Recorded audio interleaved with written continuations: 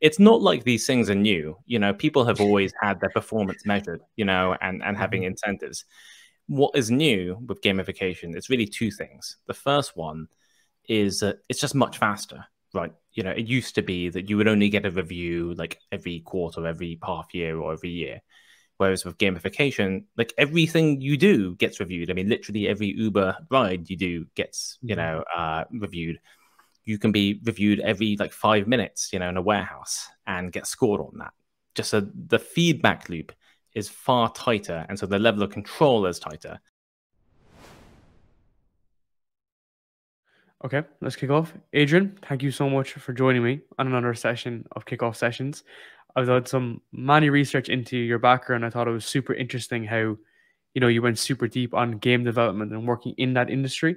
And now you're coming up with books around this area which is even more kind of more impressive, but it's also alarming to see this stuff happening in the 21st century. This is what I was thinking. I was like, there's a guy here who has a, a lot of background in mobile development and game development, and I was writing books in uh, in real life, so I'm excited for this.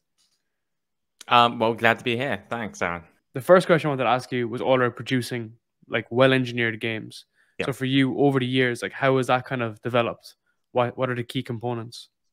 Yeah, I mean, I think the first thing is having just a good hook to the game idea. You know, um, you know, for Zombies Run, uh, our, our, big game, it was like, well, how can we make running more fun? Um, people know how zombies work. Uh, mm. let, let, us uh, have you run away from them. Um, you know, we've done other games uh, where uh, you know you're sort of a secret agent or, or that sort of thing. I think then it's really being sort of honest about what your strengths and weaknesses are and what the opportunities are, you know, for you as a production team.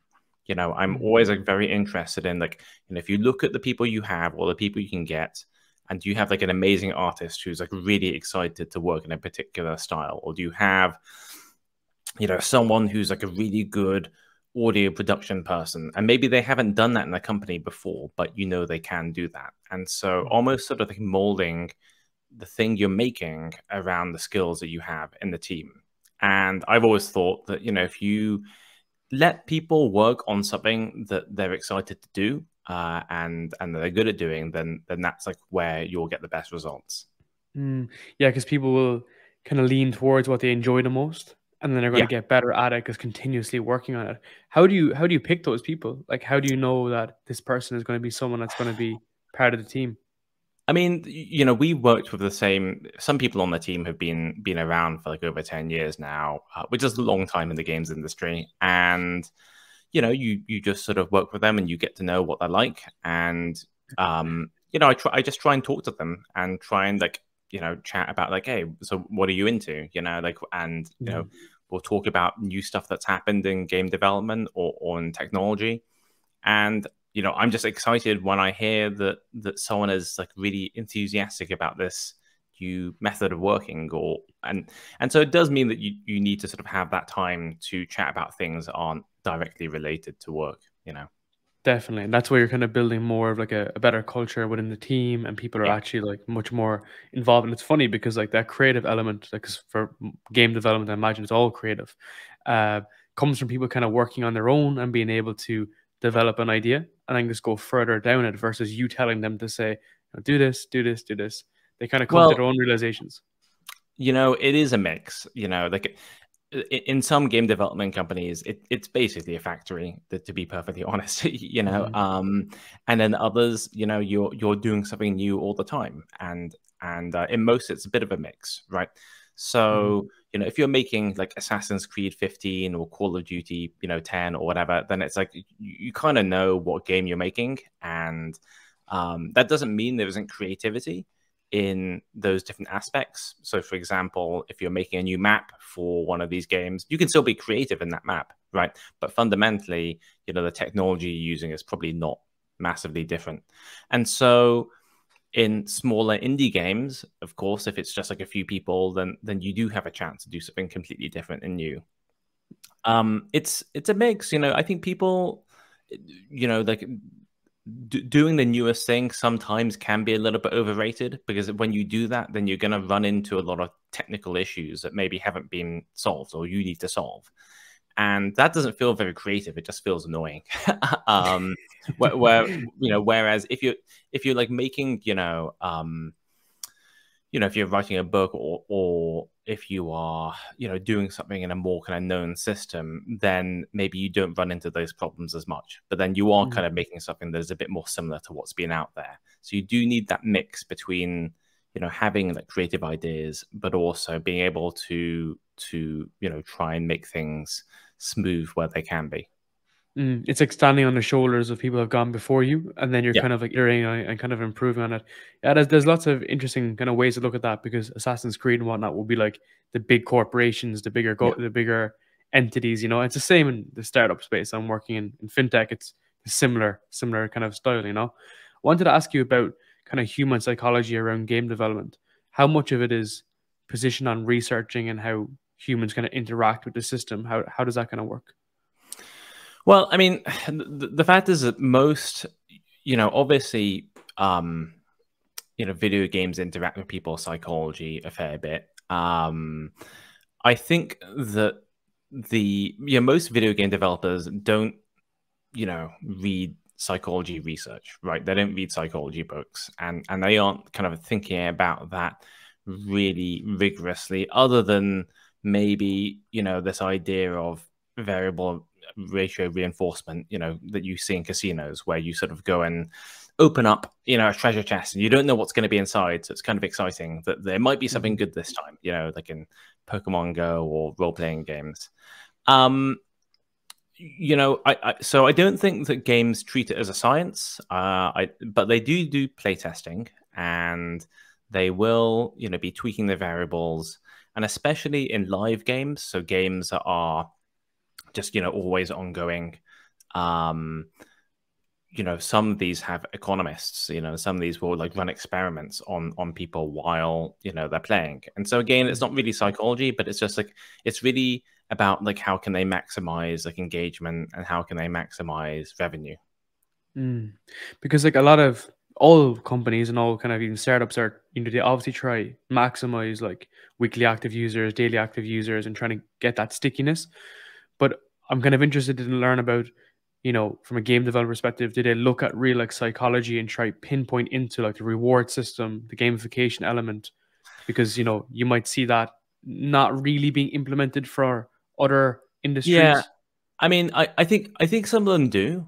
Um but but really you know it's not like you can go into like the research and it tells you do these things and you'll have an addictive video game. Like you, you know like it, it it's not quite it's not quite like that. It's more like okay we know we have these levers to pull and and we and, and we've seen other video games are really popular uh, and really sticky by using streaks by using achievements by using you know all these different tricks and we're going to use those and we're going to try some different ones and we'll see mm-hmm. where that works so it's kind of almost like a very fast trial and error and learning from other you know other successful you know games you know one of the mm-hmm. things i always tell people is that if psychologists you know were like so good at like figuring out how to make successful video games and all my professors at university would be millionaires which which they aren't you know that's just not what they look at yeah and even even like how to treat patients who have suffering issues like if you knew as much about like the research and how to implement it, well, then we, all our problems will be fixed. Does that make yeah. sense? We'd be able to sure. apply different yeah. principles to it.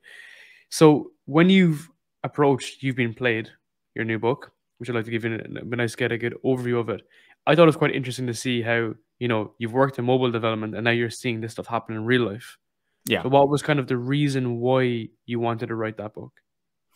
Well, I mean, you know, I've been effectively working in gamification for you know the best part of like my career like in you know, 15 years. We we used to make educational games you know we used to make you know games that would motivate people to do stuff in the real world and and you know zombies run our main game um, is all about making running exciting. And so if you open up like a gamification textbook or you know if you go to a gamification conference people will be talking about the games that, that i've made um, but like increasingly i guess i've bec- become quite like sort of confused and, and a little bit like worried uh, about the kinds of gamification you know I'm seeing out in the real world. And so I think everyone like everyone has seen gamification, you know, in their own, you know, in the apps they use. So if you've got an Apple Watch, you know, you'll know that you get these achievements. If you use Duolingo, then then of course that's gamified. You know, you've got a lot of other exercise apps like you know, or games like uh, Ring Fit Adventure. But I think the thing that was um, really that, that really sort of caught my attention was when I started seeing gamification in the workplace. You know, so companies like Amazon using gamification to try and motivate workers, Uber, uh, Lyft, you know, um, call center workers, Microsoft, you know, all all these things are being gamified, and it was kind of like one thing for consumers, you know, to use gamification.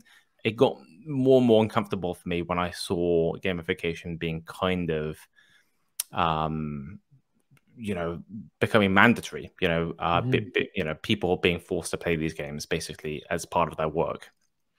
Is there, is there, um, you know, a good side to gamification? So just like your zombies run, which of course inspires people to do be more healthy, and same with Duolingo, is there a side of gamification that's actually beneficial? Um, yeah, I mean, obviously, obviously, I think that. Otherwise, I wouldn't be doing it. you know. Yeah. Um, yeah. Look, I, I think that gamification is such a wide thing now. I mean, there's probably billions of people who are, who are, you know, being exposed to gamification in some way. You know, there are, you know, good books and bad books. You know, there's good TV shows and bad TV shows. You know, or, or these thing TV shows where that will kind of stand the test of time, and you think, wow, that was just amazing. And you see other ones which are just kind of like, eh, it's a bit, it's a bit trashy. I think with gamification, it's, it's a bit different because obviously it, it's interactive, you know, and it has the ability to kind of change people's behavior. Um, if I were to sort of try and classify the good gamification versus bad gamification, I think for for good gamification, we try and make it really transparent what we're doing. It's like you know, if you go and download Duolingo or, or Zombies Run, it will say that it's a game, you know, and you know, no one's being kind of fooled into this. Um, it's trying to help you do something that you already want to do. So, mm-hmm. you know, if you want to get fit, you know, if you want to learn a language, you know, if you want to learn a musical instrument, that sort of thing, you know, the gamification will be there to, you know, try and make that a little bit more fun for you. Mm-hmm. Um, whereas I think that you have other gamification where it's kind of a little bit different. It's more like, well, but companies are deploying gamification to make you um you know better at doing your job as far as they see it right and that and that sort of gets a little bit more complicated so for some companies you know um, they will say hey we're gamifying your job and giving you stars and badges and quests and missions uh, in order to make your job more fun mm-hmm. and i think if that were like true then maybe that would be fine. But actually, if you look at these games, they don't look like fun at all. They they look just incredibly boring. um, you know, and that's what people who who play them say. And actually, what it looks like is that these companies are using gamification to try and um, obfuscate people's compensation and to reduce pay in some cases. And so I'd say, well, that's not really good. you know, I, I, I, I don't really agree with that. Yeah. And it's interesting because I've seen that kind of evolution happen over time because it looks like you know the basic level of gamification within companies is promotions and ladders. Like there's literally a yeah. hierarchy of ladders, and the word is used as if it's a game. You go from wrong to wrong yeah. to wrong. Along there, you'll get payment, bo- uh, payment compensation, bonuses, and and whatnot. And then it's like it gets micro broken down. Then, and you see different examples. And I'm kind of looking at maybe even like larger, you know, con- considered good jobs.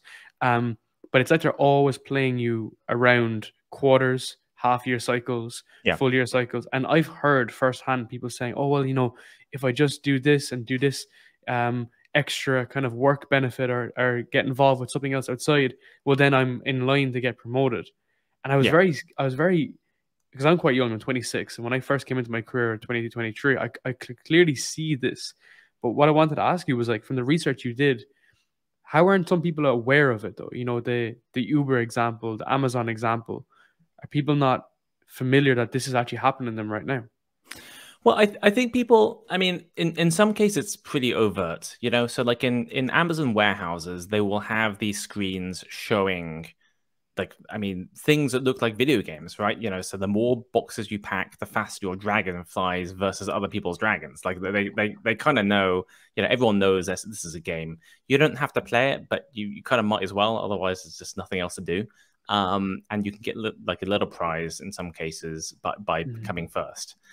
Um, I think in some other companies it's less apparent. So like for Uber, you know they they keep on introducing and removing gamification. So often what will happen is you know they'll say hey do you want to sign up to this quest? If you do 20 you know rides today then we'll give you a six dollar bonus which doesn't sound like a lot but it, it's like obviously it matters to some people. Mm-hmm. And so i don't know whether those people are thinking wow my life is being gamified but i think in a way probably for those companies, it's better if people don't notice too much because they don't really want people thinking about about the existence of the game. They want mm-hmm. people more thinking about you know how to change their behavior, you know, in response to the incentives. And I think the thing that you said about salaries and you know reviews and quarterly reviews is really interesting because it's not like these things are new you know people have always had their performance measured you know and and having mm-hmm. incentives what is new with gamification it's really two things. The first one is that it's just much faster, right? You know, it used to be that you would only get a review like every quarter, every half year, or every year. Whereas with gamification, like everything you do gets reviewed. I mean, literally every Uber ride you do gets, you mm-hmm. know, uh, reviewed. You can be reviewed every like five minutes, you know, in a warehouse and get scored on that. Just so the feedback loop is far tighter, and so the level of control is tighter, and mm-hmm. that that feels very different than than only getting feedback, you know, for better or for worse, you know, um, you know, less frequently. But the second, yeah, go on. Go ahead, sir. I didn't interrupt you. Um, well, no, I mean the, the, the second thing I was going to say is is that the the big difference as well is that like all of this uses video game aesthetics. So it's kind of like you know confetti and you know achievement badges and points and like little you know animal characters and dragons and all this stuff you know really mm-hmm. really fun exciting things. And um these are you know these are aesthetics from that people recognize from video games right? And people know the video games are fun and so they see this and they think oh yeah well if my workplace is using these things then my workplace should also be fun and so it's this kind of deliberate confusion almost between like something that's really fun that you play by choice and something that is not really that fun that you're being made to play. Mm-hmm. And and I think those are the two big differences. Uh, in addition to that as well, you have an area around how they even use the coloring and the branding. Like the way the confetti comes out and the colors that yeah. are being used are all, you know, appealing towards our senses. That design mechanism of how it's been designed is stimulating that part of our brain. You know this much more than I do. That gets us to react that way, which is quite interesting. When you mention on the feedback loop too, it's funny because some people give out that they don't get enough feedback, whereas mm. in these organizations the feedback loop is so tight especially sales is a great example so salesforce you know can monitor entire company and i work very closely with some people who work in sales and you can literally see this leaderboard mm. and the leaderboard is uh, most calls emails, uh, deals moved along, meetings in that week.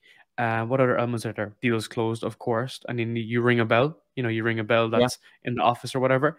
Um, but how they how they use that then is to categorize obviously the leaderboard. And if you're at the top, you know, you get a trophy. You genuinely get a trophy. And if you're at the bottom, you get cut.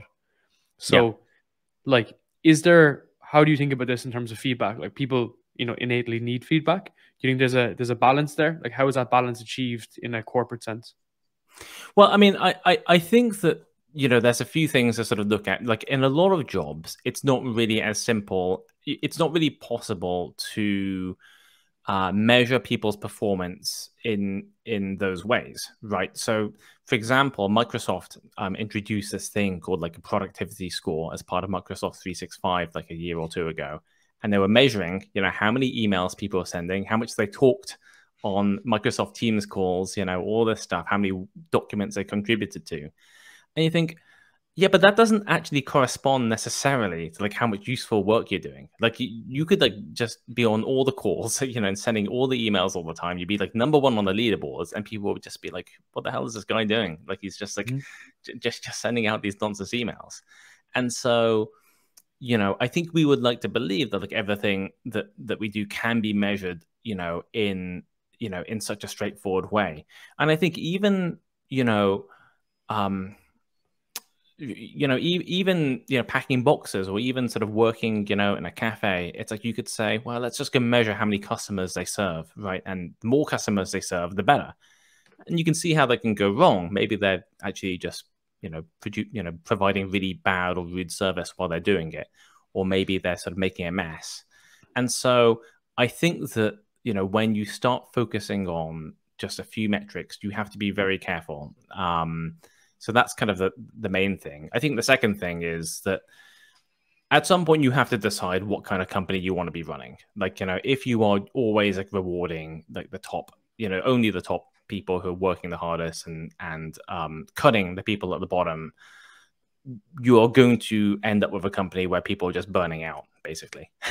um, and and does you know does that really work in the long term? Of course, you want people to be committed and you know working hard. At the same time, um, even the best people will burn out if they're, they're mm-hmm. competing against each other all the time. Yeah, it's a it's a it's a terrible balance to try to to make because like metrics and KPIs, you know, we've been we're through this kind of new era whereby it's all data driven. You know, we we look at the KPIs, we look at the metrics, and then we just make decisions and based off that. But that only tells us as part of the story. Of course, you can use data and dashboards to, to display this information. But that's why board meetings and senior leadership meetings still have meetings where they discuss yeah. them and say why we're down 30%, why we're at 60%, and why we're at 90%. And even people at 90% may might even be scrutinized even more because it's like, oh, how did your metric get so high? Whereas where I feel that people don't get this opportunity is obviously the people that are boxing, that are mm. in uh, mm. McDonald's workers, that are only flipping enough burgers. And that's where I feel that it's very injustice because they just look at this, you know, ten thousand yeah. employees, whatever, and just scrap the bottom. You know, yeah, that's kind of that's kind of the worry I see a lot of this stuff. Um, from your research as well, like what type of research did you do for this? I'm very interested to know.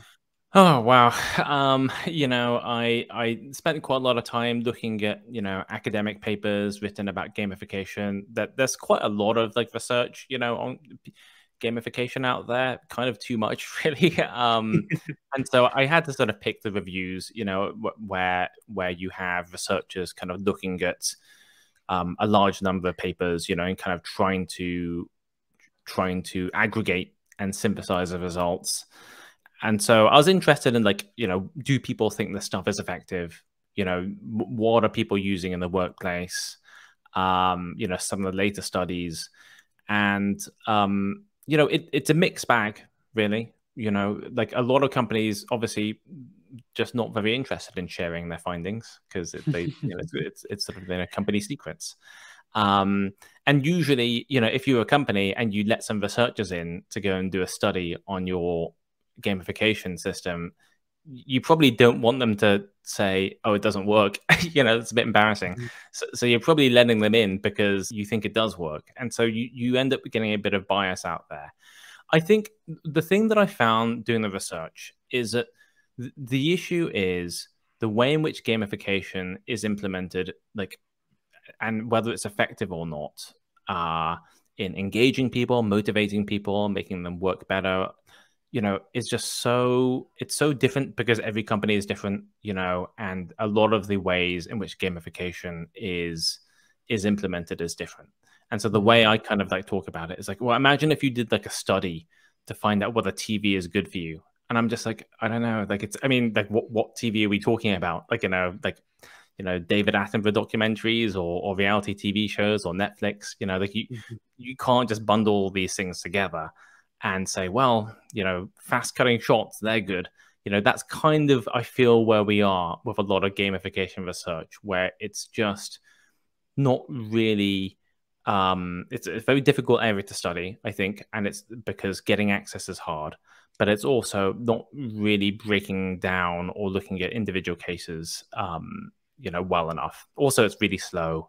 Like academia, it just takes like, you know, probably takes like two or three years, you know, from doing mm-hmm. the actual experiment to actually getting published. And so everything's just out of date instantly. Of course it is, and I think as well as well as that, there's like multifactorial. There's so much different different things coming yeah. on, and there's different ways to interpret it. That especially within an organization whereby you're going to be exposed to a very narrow window. It reminds yeah. me of seeing like North Korea documentaries. They only expose a very small proportion of it, so you can't say that's a, uh, available to everything. So they're kind of some of the ties, which is a bit difficult. And I imagine you ran into some issues when you're looking at governments as well. So when you started researching governments, how did that look? Yeah, I mean, you know, I mean, in in many ways, that's in most ways that's kind of harder to do because, um, you know, governments are very careful. A lot of governments are very careful about people's data. Some governments, you know, are you know will open themselves up to like inspection because you know that's just part of the process. Of course, if you're looking at more authoritarian governments like China, then then that's not going to happen. And so you you just have to look at what people are saying, you know, and like looking at the, you know, how the gamification uh, is affecting people and um, you know what people are describing you know experiencing you know as part of that gamification so mm-hmm. you know um, when uh, you know governments local governments or, or state governments employing gamification it, it's really hard to know whether it quote unquote works, right? But you can see what it's doing to people. Mm-hmm. Of course. What did you learn from observing China? Well, I mean, so I think a lot of people are probably aware of this idea of the Chinese social credit score, which is this this sort of like number that that citizens have that you know represents you know how good how good they are basically. Mm-hmm. You know, do you pick up litter? Are you like donating? Are you like loyal to the party and all that sort of thing?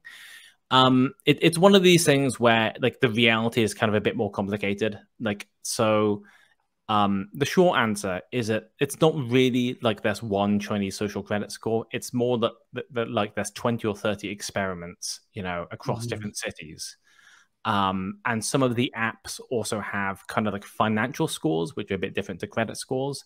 And so it's a bit of a patchwork of stuff. Um and you know there are you know some cities where you will get deducted for like jaywalking you know and you will get deducted for just like you know um you know um leaving litter. And you will get points for volunteering at a charity and if you have like a lot of points then you can get lower interest rates or you can skip the line at libraries or these sorts of things um and so there are places where you look at it and think ah it's not you know like um it it you know, you will find stories of, of Chinese citizens being, you know, pretty unhappy about it because they think it's mm-hmm. unfair, you know, and the, the, the way in which the points are awarded or deducted is unfair. Uh, you'll see people saying like, I don't even understand who who is even setting these targets. Like, you know, they're just mm-hmm. like magically appearing. You know, the apps don't work, that sort of thing. Um, but then you see people saying, actually, I quite like the app because if it stops people from being rude on the subway, then I'm all for it right? And you kind of know, honestly, like there will be people, a lot of people, like, you know, in Western democracies who'd be like, well, I don't know, like as long as people stop littering and playing loud music, you know, then, you know, and running red lights, then that sounds good to me. So, mm it's it's kind of not at the point where it is this massive big brother like every single person has an app on their phone that tells them what what score they have but it's also obvious the chinese you know state government and Chinese local governments are interested in this and they keep on trying. And during COVID, um, actually, it sort of intensified a little bit. It seems because everyone had to install these like COVID um, tracking apps, you know, as they yeah. sort of were going around. So it's a it's an area where it's not maybe as bad as as it you know maybe seems, but at the same time, you know, it's not like nothing is happening either. Yeah, my issue with this is the kind of how the data is aggregated. So, like as you said, there are some of the apps don't work, and there's some of them there's thirty of them. So it's kind of like if we are trying to take this holistic view of your credit score, your financial score, or your societal score, well then, if you were a good citizen and app number seven doesn't work because it doesn't show that you picked up the, the litter and the trash, mm. well now your score is, is lower. So it's kind of like we can't really use it, you know, a beta right. version of this. It has to be like all or one. And it looks to me, from what you're describing, is that it's not completely correctly uh, calculated. Like that's the issue here is that if you're going to yeah. take this data approach, scoring approach, well, then it better be accurate, the accuracy. Right, and and then you sort of get down the road of like, well, is the answer always going to be, well, we should like have more surveillance and we should have more tracking, right? You know, you know, because because like you say, yeah, you know, like you, you know, someone could say, well, I did this good thing and like no one knew about it, so like what, like that's not fair, and you know, we should have another like, you know, camera there, or another sensor, um, or or another way of measuring that, and so I I think that that is, um you know, it can be used as a justification for more surveillance. You know, I think that also, yeah, it's it's people, you know, when it starts, when the stakes matter more, then um, it needs to be more and more accurate. And so, you know, you have cases where, you know, people might get uh, included on on a particular kind of blacklist, which means that they can't use like high speed trains. You know, they can't fly. You know, they can't sort of like get access to certain you know more luxury products and things like that. And so it's like you've got to be really careful, and you're going to have like you know recourse for people who feel that they've been inaccurately included, you know, on the list. And so I think there's this idea of like, well, it's just gonna be perfect, you know, and we just like put cameras everywhere and then everything gets scored and everyone's gonna be happy. Mm-hmm. And it's like, well, we all know that that doesn't actually work that well. like, you know, that mm-hmm. there's always like, you know, flaws in the system. So even so, I guess my point is that even if you are someone who actually thinks that, like, you know what, social credit scores, if they promote good behavior, I'm for it. I'm like, I'm not even sure whether whether it's actually achievable in that way. Um, yeah. Mm-hmm. And the issue is that you'll have people that will fall into that bottom bracket who will not get mortgages, who will not get houses, who cannot get high speed yeah. train. So it's it's a bit of an issue. Uh, how I wanted to ask you, and this is that how can someone score someone else? As you said, someone being rude to someone, can you literally look up their ID and, and rate them? How does that work? Um, you know, I think it works. I think it works differently in the different cities. So there was, um, I think I read about this. Well, they have cameras around, like you know, uh, pedestrian crossings and things like that, where they can just like spot you know, whether someone, yeah. you know, or, you know, traffic cameras or things like that. You know, I think that if you were like volunteering at a charity, probably, you know, they would scan your QR code and say, hey, this person volunteered today, or this person gave blood today, you know, or this person went on the litter picking, you know, uh, 30 minute, you know, uh, uh, mission today, or that sort of mm-hmm. thing. I, th- I think that the um yeah you you if I think if someone was just like, rude to you on the subway, I'm not really sure how that would work, to be honest. Uh, um, but uh, I don't know. You, if you if you made like an official complaint, maybe, yeah. Mm-hmm. It's a very slippery slope, though, because like the things we're discussing here are subjective, like the inputs. You know, so the input mm-hmm. values that you're putting in here, sure, they can be anything. You know, positive, yeah. negative, neutral. And yeah. now we have this scenario whereby you know you could potentially limit someone's future opportunities. And the issue i have from here is that maybe those people don't have other alternatives. Like if you can't get a flight then maybe you can't leave china to go explore a different life and, and go somewhere else. That's kind of the issue. You know sometimes like you could say like oh get out of the us if you're not happy with politics which is fine. Yeah. Just go somewhere else. But maybe if you don't get the other opportunity that's the that's the kind of issue i have here. And it's a slippery slippery slope because you've you know there's you can get obviously very conspiratorial of here and said, oh, it can go other aspects of the world, but it definitely can. Like there's this principle that over time, potentially these attributes that you saw in games have moved from corporations to governments at this point, and then sure, different governments. Yeah, yeah, and and you know, part of the reason why this is happening is because it's just the technology is becoming cheaper and, and more ubiquitous and easier to do, and so. Mm-hmm gamification is kind of a layer on top of those on top of those technologies. So you know, obviously, in the past, um, you know, we didn't have smartphones and we didn't have you know uh, the Internet of Things and, and and so on. And so once you install, you know, once everyone has a smartphone, it becomes possible to literally track everyone and to kind of identify everyone. Which sounds mm-hmm. creepy. I mean, but at the same time, we find our smartphones really, really useful. Um, and just the idea of being able to do that like 30 years ago, it just seems like impossible. Or, you know, having uh, multiple, you know, surveillance cameras, you know, over every, you know, pedestrian intersection or on every single subway car, you know, using machine learning to score people's behavior, or in every classroom, which they have now, you know, in a lot of schools in China, um, to to use, you know, CCTV to do that sort of thing. And so mm-hmm. once you have that there, it's actually not that difficult to to like apply a score to that. In fact, it's almost like so tempting for people. It's like, well, we've got this camera here. We might as well start like using this data for something. Let's go and like rank people because that's just what we do, you know? Yeah.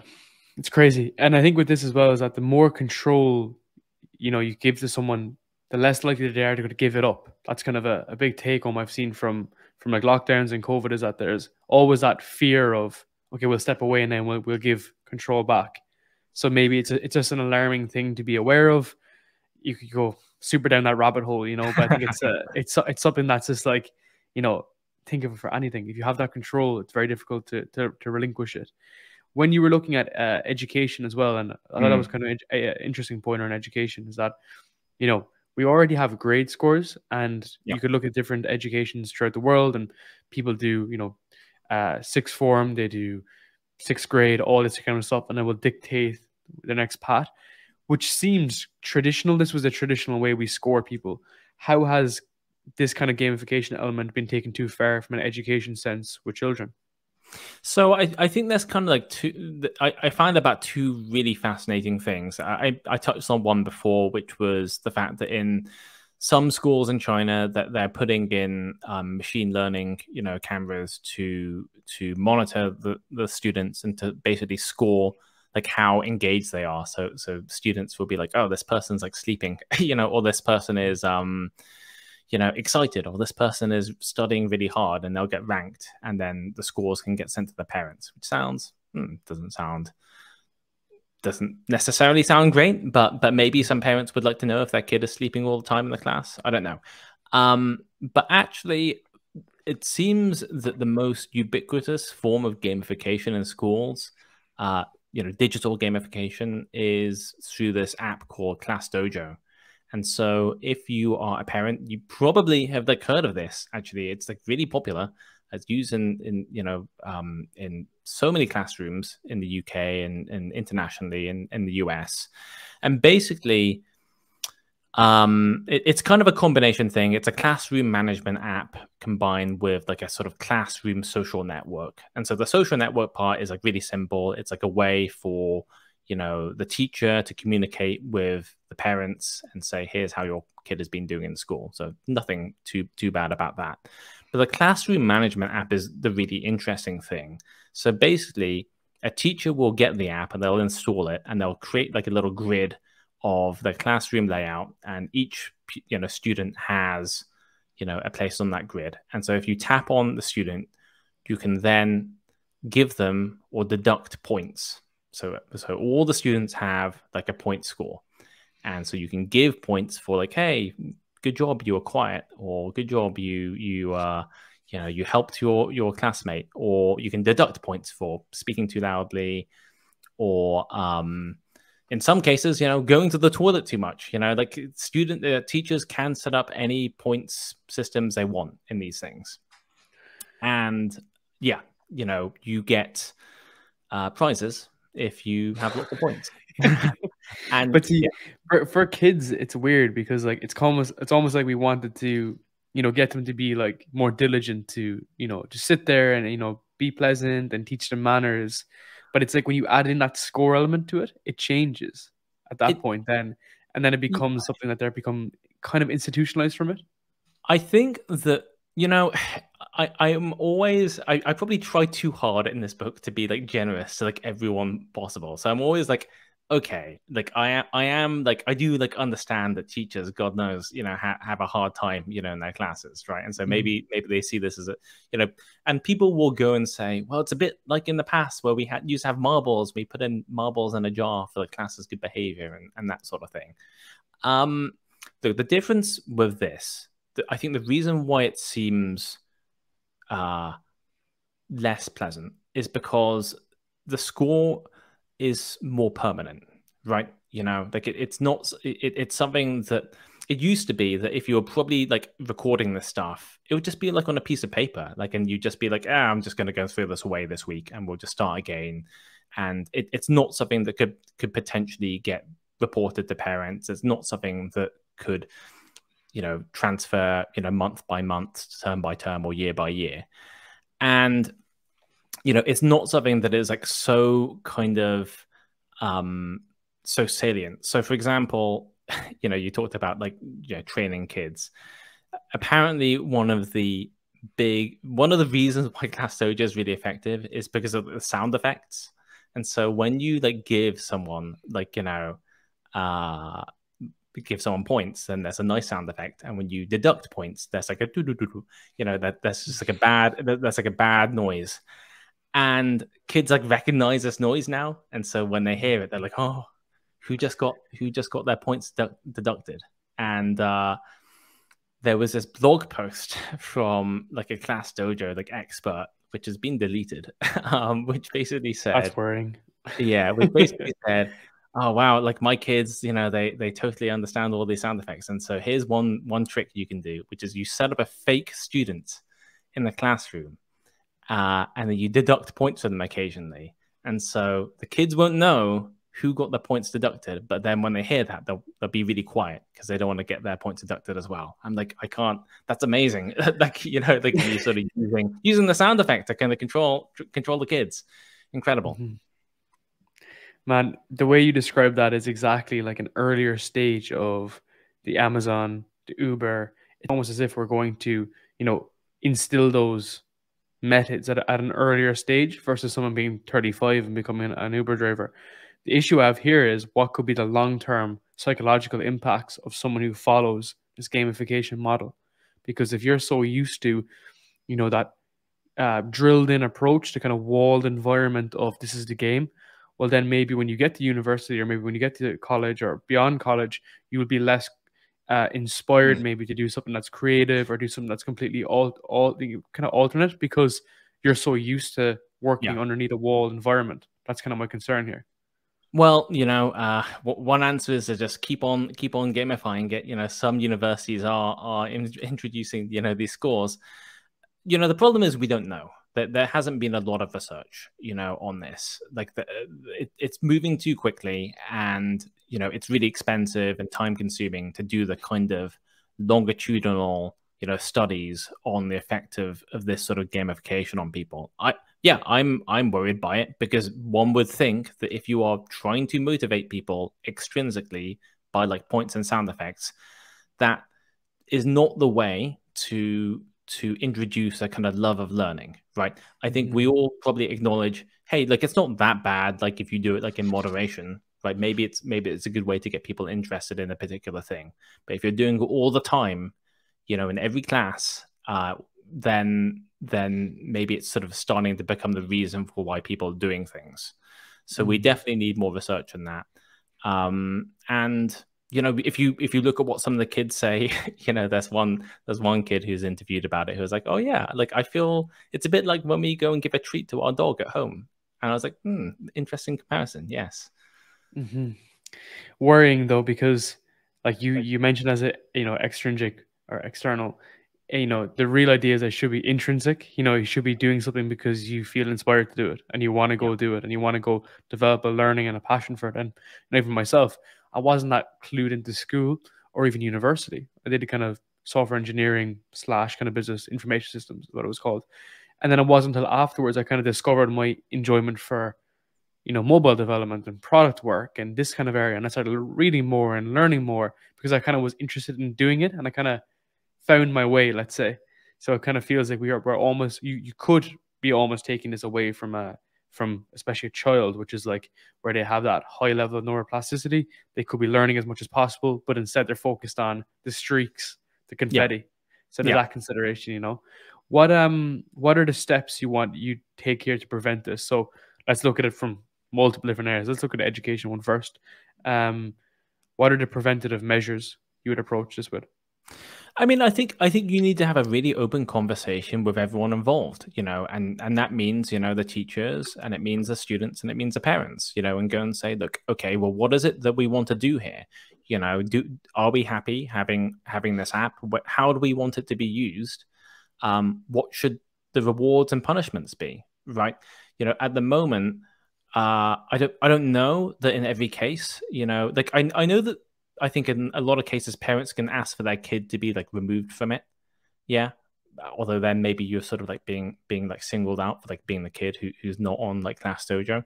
But I, I think that it's just you know it, it's just being sort of introduced like automatically, and maybe as a parent you don't want to be the one who's like gonna like single out your kid for like not being with the other kids, and so you kind of need to do this as a community and try and get as many you know people involved and i think you would find if you if you had everyone thinking about it and like debating as we are doing now hey, what are the good things that could happen from this and what are the bad things, then you might maybe they would even choose to keep Class Dojo, but they'd say, actually, we want to change the points and we want to wipe them every week or, or whatever, right? You need to just have people be a lot more aware uh, and more thoughtful about these things that are like intervening in people's lives. Mm-hmm. I would mm-hmm. really want there to be you know, Class Dojo is is a venture capital backed company. You know, it it was able to offer its product for free um, because it was just you know in sort of hyper growth mode, and so it sort of circumvented like a lot of like um, usual like mechanisms to review this stuff. Student, you know, teachers could just install it on their phones like automatically.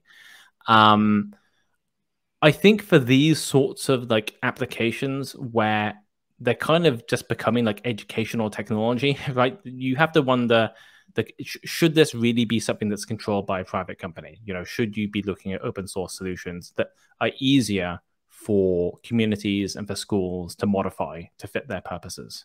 Right. I'm sure you can, you know, customize, you know, Class Dojo to some extent, but um, it's not going to be the same if it was open source. I don't think everything needs to be open source, obviously, but I think that there are some things where it's so important that, that you kind of need need to have more access there. Um, you know, more research to find out what effect it has on people long term. You know, there is some research saying it works. There's some research saying that um, in one classroom, apparently it, it made the kids be quieter, but then they were less interested in their class after that. So mm-hmm. I don't know. That doesn't sound too good to me. Um, mm-hmm. Yeah. So so you know, like I'm not saying oh ban everything tomorrow. I'm saying that that we we need to think about you know more more openly about about what it is we're doing here. Yeah, and you made a great point that like you know there is there could be a there is a positive element to this like the competitive side of people they can see a goal and see you know how to kind of reach a goal and achieve that kind of streaks or whatnot but there's a counter side of it that you don't want to be the bracket of users from 2020 to 2040 that were exposed to this horrific element of gamification. And then we look back in 30 years and say, oh, well, all this research, research that we are completely wrong with doing with children, you know? Because yeah. it's, it's a bit uh, kind of unfair that, you know, it's kind of like when people choose their life for their children before they give mm. a chance, a child, a, give, give the child a chance to do what they want. You know, it's kind of like, well, you know, they're so young that they have to be, you know, natured and nurtured at the same time so there's that kind of that element. But then for an adult, it's quite interesting because how would you approach it from a corporation perspective and that element? Like how does the employee take um, more agency in what he does to not succumb to these gamifications? And at the same vein, you know, you have government intervention too. I mean, you know, it's really it's really hard on workplaces because it's not really, you know, the you know the um you know most companies when you when you walk into work it kind of feels like you basically have no rights whatsoever right? You know like you you know for those eight hours they can just order you to do what, whatever they want. And you know corporations aren't democracies you know that that you know that i think people understand that that's what happens when when they're getting paid to do the work at the same time we do have regulations on workplaces to make sure that they are you know um that, that they're safe to work in, that, that people get breaks, you know, that people are treated fairly. Um, so I don't know that there's like anything really that individual workers can do about like, you know, their workplace being gamified. Um, I think, you know, we're seeing more more workers form unions. We're seeing, you know, government starting to look into, you know, what might be happening um, in terms of like uh, algorithms that are sort of ranking and judging employees. So I think I think it was in New York or California. You know, there's there's been you know law introduced or they want to introduce it where people where workers will be allowed to see you know any scores that that exist on them. They'll be able to kind of understand like how they've been scored. You know i think it's just making it a bit more transparent. You know i don't think people are saying well there should be no performance reviews full stop right? I think people like get that. That's okay.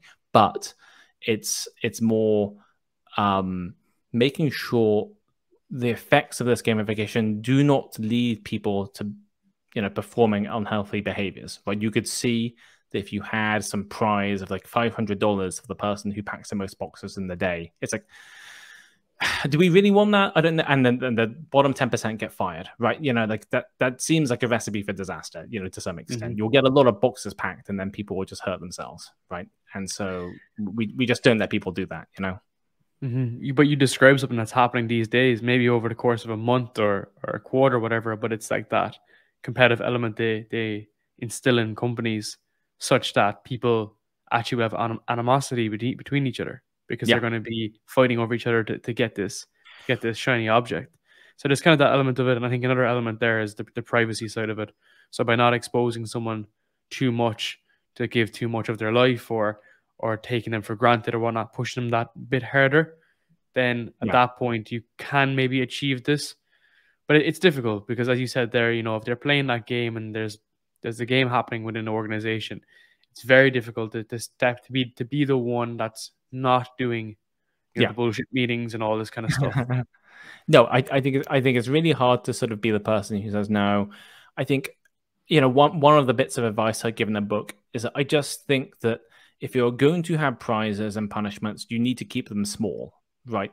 You can't if you start saying, well, here's a prize of like $10,000 for the top performer, people are going to do all sorts of things to win that prize and not necessarily the things you want them to do so. Like they'll cheat, exactly. you know, you, know, yeah. or, or they'll screw over their, you know, their co-workers or that sort of thing, or they'll burn themselves out. And so I don't, you know, like uh, it's particularly in sales. Obviously, you know, it's ve- it's very normal for for there to be kind of incentives, you know, for top performers. I, you know, like uh, if I look at my own, you know, company, if I look at you know other companies that I admire, the pay is important. You know, people need to feel like you know well compensated. They don't need to be worrying about you know their household bills. At the same time, I think most people recognize that, that people work for a mixture of pay and you know feeling that they're valued and feeling that they're doing meaningful work. You know, mm-hmm. and so mm-hmm. I don't think you know I, to me like saying oh well here's a big prize for the top performer i'm like you're kind of like saying that there's not really any other reason to be doing the work right other than the prize mm-hmm. and so the bigger the prize you know the more um almost it's almost like you're sort of sucking meaning away from the rest of the work you know by by having a bigger prize. And so you just need to be careful about that. Mm-hmm. sales is huge for that as well because it's you know it doesn't matter what you're selling you're just looking for the bonus or the cash bonus whatever. But often people will neglect that if they did focus yeah. on that kind of career fulfillment. And i always talk about that on my podcast like fulfillment passion and, and, purpose. That's very much more tailored i think towards like a software environment. You know something mm. that you're building or something that i'm building you know that you genuinely feel is actually making users uh, you yeah. know more fit in yeah. your example or, or yeah. whatnot and then when you're committed to that vision i feel like that's much more purposeful and that will yield the best results because i often even find it in even my own company that like the people that stay there the longest are the people that have really committed to, to the visions of what the company inspires to actually be versus what they're trying to pretend to be I think I think most people in in you know the video games industry, you know, we have some amazing people in our company, you know, and and they know that they can get paid a lot more money working at a different company. Like you know, we have people who used to work at you know Yahoo, who could work at Google, who could work at Apple. You know, just really great you know developers and production people and you know they choose to frankly earn less you know and and work you know at our company and work at companies like it because you know they can get up in the morning and think hey like everything that i'm doing here is a good for people. Right i don't have to feel conflicted about what i'm doing. And i'm not like sitting here like judging everyone in every other company. It's more just that it you know the more I've been doing this, you know, the more I like value being able to sort of get up and think, you know what, I at least I don't need to worry about whether I'm, you know, about the sort of ethics of what I'm doing because I've thought about that and and it's good and um, you know that's something that money you know can't buy. That, then again, there are some things that money can buy, so you, you, you do need the money as well. Of course, of course, especially for like highly skilled workers that are being yeah. pushed very hard in these areas. Last question I wanted to ask you was around separating those ethics, so and and being able to draw the line. So for for companies who you know they want to make that shift, where do you draw the line between kind of ethics and profit? Because if you if you pull down the um, gamification element, maybe their profit margin will become more slim or, or revenue might be reduced or whatnot. Look, I think it's really hard. I mean, you know, the, the fact is, is that we could all, I, I think almost everyone could be earning more money doing a different kind of job, right? You know, like um, whatever that might be, right? And so uh, most people in in the video games industry could be earning twice as much money in the finance industry, right? You know, and most and people in the finance industry could be earning more money, you know, sort of doing criminal stuff or whatever, right? Like you, we we can all sort of like get more money in different ways. So it, it's not like there's never a choice. And some people feel like they haven't made a choice, but in a way they kind of have, you know, but by where they are right now. Mm-hmm. Um, you know, people need to decide, you know, take a step back and think about what, what it is they, they want to be doing with their lives and what they need. Um, you know, I've seen people who are very wealthy who do not seem happy at all um, you know, I've seen, you know, vice versa. I think with ethics versus profit, look, a big problem, uh, you know, we used to have companies who came to us to Six to Start and they would offer to buy the location data of our players, right? Um, because we, you know, as a running app, we, you know, have access to users' GPS traces, right? We have to do that, otherwise we can't know where they are. And they were like look if we if you give us access to this stuff then we can target ads and we'll give you like tens hundreds of thousands of dollars per year. And most i mean a lot of companies did this right? Um, and you just wouldn't hear about it. And so we would always say no because we just don't want to sell that data. And honestly like um, if we did it probably the players wouldn't know and if they did know they wouldn't care right? A lot of a lot of players because like everyone does it. And we just decided well we don't want to be that kind of company you know and we don't want to make our money that way. And sometimes you just have to make a decision. Um, it's easier to make that decision if you're already making money right? So that's why it's important to have a sustainable business model. If you don't have a sustainable business model you can't make those choices because you have to take the money right mm-hmm. and so it's almost made it more important that we figure out okay we're going to sell subscriptions and they're going to cost us amount of money and that way we can be profitable so that's it, it, it almost makes having a proper you know business model better um, or more important. It's the opposite to high growth startups these days because, like, if you think about Facebook, Facebook led with you know uh, user acquisition, and then they led with okay, we have no cash, and then started selling it, ad- advertising, reverse ad- advertising, and whatnot. So it's kind of like that flip side approach. But it's good yeah. that we've been able to see those learnings. Like you, you mentioned some, you know, there's loads of examples I could think of and now the flip side is, oh, if you build something that's sustainable, well structured, you don't need to succumb to those yeah. things. And I suppose that's the best area of, of ethics because the line is always grayed and blurred out. Yeah, exactly. Adrian, I just say a massive thank you, man. I really, really appreciate it. Before we finish up, can you let uh, everyone know where they can find your book and all that, all your good stuff? Yeah, um, so you can find the book pretty much anywhere. Just search for "You've Been Played," and um, you're you know it, it's uh, the one that is all about gamification. Uh, so it's on Amazon bookstores um, out September the eighth. Uh, I'm on Twitter at Adrian Hon, uh, so you can find me there. Um, I've got a blog, um, links from my Twitter. So yeah, looking forward to seeing what people think of the book. Of course, and I'll have all the details down below in the show notes as always. So I just say a massive thank you. I really appreciate it.